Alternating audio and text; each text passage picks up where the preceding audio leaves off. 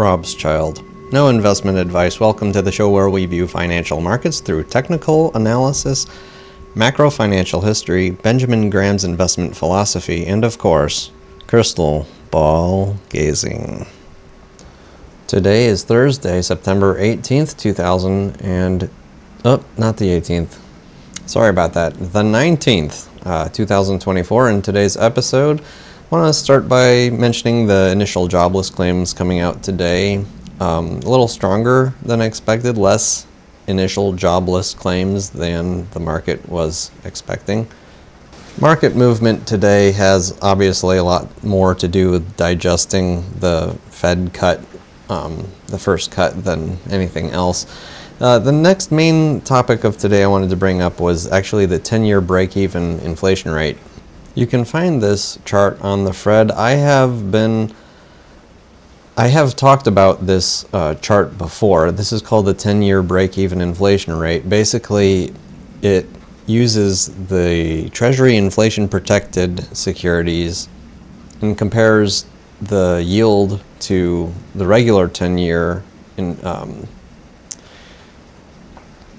Treasury yield. And what it does is it, it basically states how much the U.S.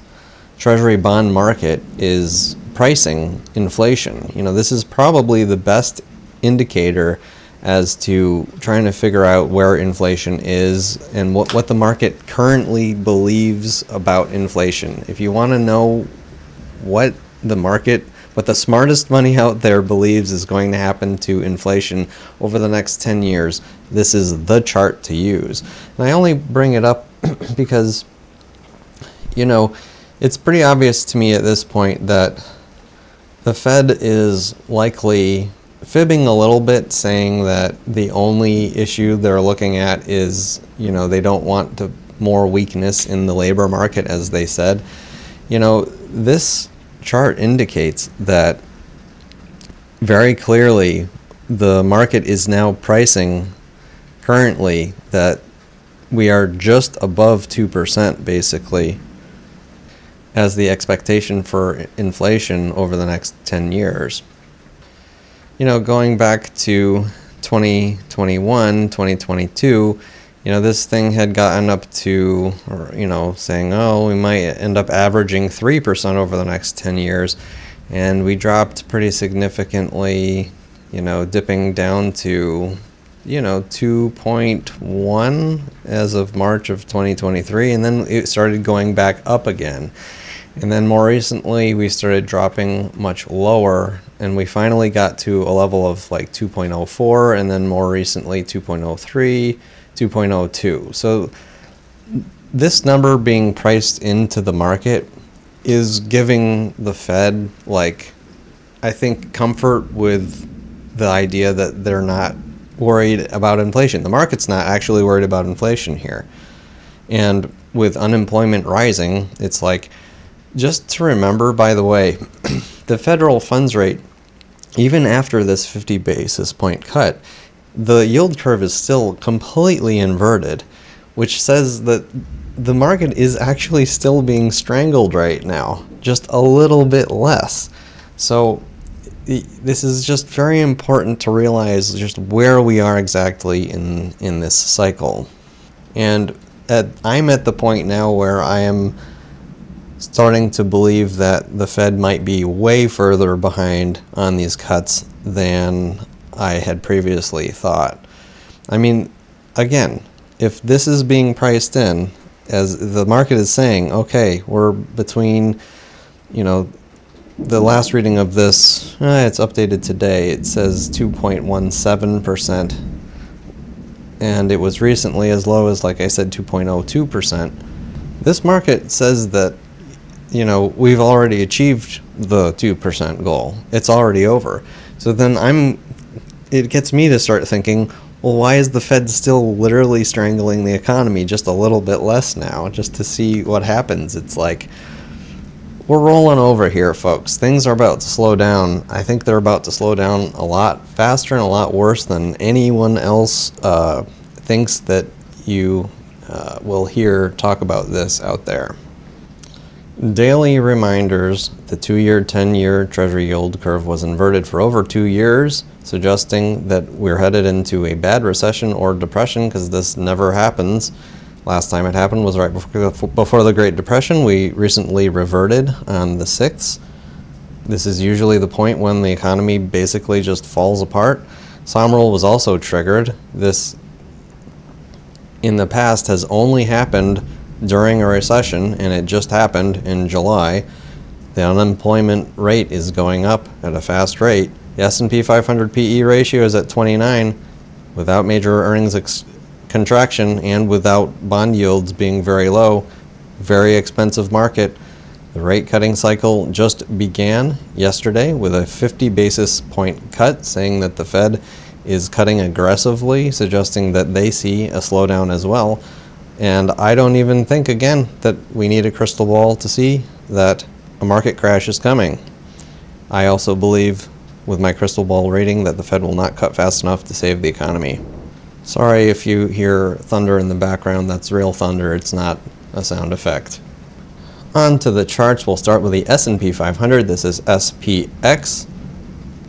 It's a good thing I didn't say I'd eat my hat if we broke to new times highs.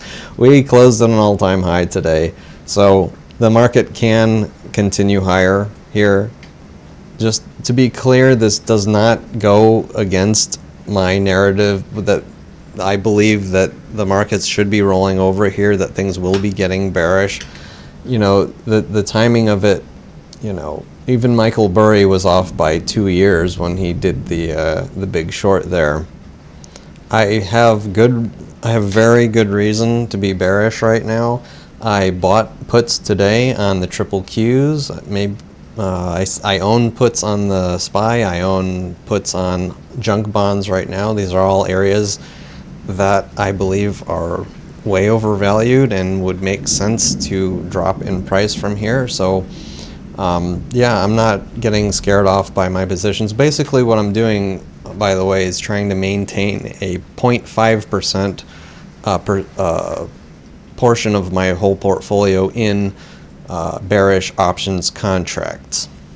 So when, if the trade goes against me, I just, I'm just buying more puts uh, trying to find you know my goal is to get as many as possible with the smallest amount of money so i usually go pretty far out of the money um, to get as many contracts uh, as i can get with that amount and i'll be selling those positions aggressively if you know if they go in my favor uh, at a fast rate i'm not planning to hold them to expiration Speaking of the triple Qs, this is the triple Qs. I believe we're still in this head and top uh, formation. However, you know, I drew this uh, trend line before and it seemed like we were really stuck in it and I'm going to have to delete it because we popped right out of that today. You know, this is truly a crystal ball rating and, you know, as far as thinking that this Head and Shoulders top will play out exactly as I see in my crystal ball. It would make a lot of sense if it did play out this way, but we'll see. With the stock market going up today, the VIX dropped, but not enough to get the October contract to normalize to get below these the next two months. It did drop below. It was yesterday. It was it was above as far out as the March contract, and so we dropped a little bit in the VIX today, but it's still very elevated on the future uh, curve, the VIX futures curve. So while you see on TV people saying, "Oh, hey, we're we got the soft landing now," and the market's at you know new highs, and CNN Business is saying, "Yeah, we're in grade mode." Pedal to the metal, baby. Uh, you know, the there's uh, the the people that the, the professionals, the professional money has uh, more protection here than uh, than normal. Remember, folks, the the goal of the professionals and the big institutions uh, the big banks and everyone is to make sure that you lose as the uh, retail investor. That's literally how they make all their money. So they'll do everything in their power to make sure that you lose. And uh, so be careful with the bullish, you know, soft landing, everything's okay narrative at this point in the cycle. In my estimation, things are very, very, very, very, very dangerous uh, in the stock market. Did I say very enough times? Yeah, I think I did. But yeah, the VIX, uh, the regular VIX is down a little bit today. Part of this as well is uh, we have options expiry tomorrow for you know the traditional normal uh, options contract, and um, you know the, it's the institutions that sell this th- these things. They want they need to make as much money as possible, so they need to um, you know for the rest of the week they'll put the market exactly where it hurts the most for the re- uh, against the retailers so that they uh, keep the profits of uh, those premiums that they sell their co- contracts at. I've been trying to draw some new lines on TLT to see where we might uh, stop dropping. We dropped again in TLT today, long treasury bonds. As you know, if you're following my show, I have like 55, 56% of my portfolio basically in TLT if we take this low from July, connect it to August low, you know, we're right there at this line. So is this a buying point for the market? Maybe. Again, I really like treasury bonds right now because of where we are in the cycle. You know, when the stock market crashes and people run to safety, they tend to go into uh, bonds. And so if you look throughout history, the value of treasury bonds, when there's when we get to the flush, when everybody like is forced to sell stocks against their will, um, that's when your tre- your uh, treasury yields uh, drop to the floor, and that's when this thing can really spike. And usually that coincides, by the way, with a bottom in uh, junk bonds, which is the exact right time to get junk bonds. So I'm I'm holding long treasury bonds uh, happily until uh, it all plays out. Speaking of junk bonds, as I've been saying in previous shows, it's like Mr. Market, a few drops a gallon, uh, a few drops of gas in his tank going 100 miles an hour the wrong way down the highway with a water bottle full of something that's not exactly water. Uh, junk bonds is just, you know, TLT literally uh, went down a good amount today, and junk bonds are getting a bid.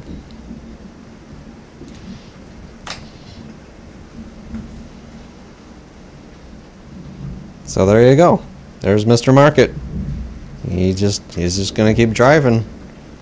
As I said earlier in the show, Fear and Greed Index on CNN, we're in greed. It has the feel of an army of Redditors chanting, We did it, Reddit! We did it! I know a number of my shows have been getting a little repetitive lately. I'm saying the same things over and over again, and I'm going to tell you that I am likely to continue doing this. I will continue being repetitive because I believe what I'm saying in these shows is the important things to say and the important things to be thinking on a daily basis with little changes uh, here and there. You know, sometimes it I think it's easy to forget about important things. It's easy to forget about the Sahm rule. Uh, it's easy to forget, oh, you know, the, the two year tenure has been inverted for two years uh, and then just inverted recently. It's, it's easy to forget that, you know, in the, when we get to the cutting cycle, uh, this is typically when all the really bad stuff begins. It's very easy to forget this when uh, the market is getting going higher and can can potentially keep going higher. I don't actually know how much gas is left in Mr. Market's tank here, but I do not want to be along for the ride. In fact, I'm betting against it with a very small amount uh, of my portfolio. And I'm holding things that I think are undervalued based on where we are in the market and the weight between different markets. And that's all from me and my crystal ball. Hope you enjoyed. Thank you for watching and see you next time. Robschild.